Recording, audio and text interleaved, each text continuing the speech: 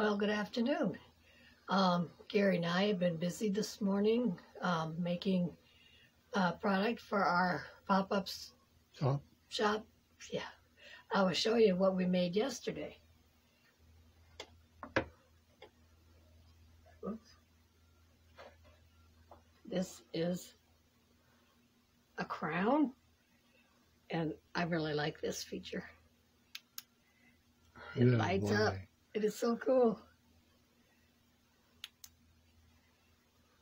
Actually, it's not the crown that lights up. It's this light thing. Then we made this little unicorn.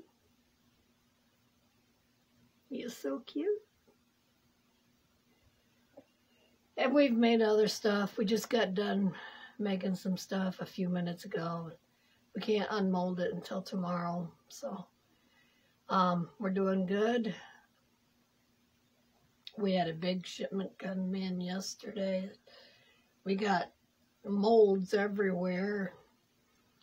We got the winter to uh, uh, build up our inventory for our shop. So, um, well, I hope everybody's doing good, and I will talk to you tomorrow. Bye.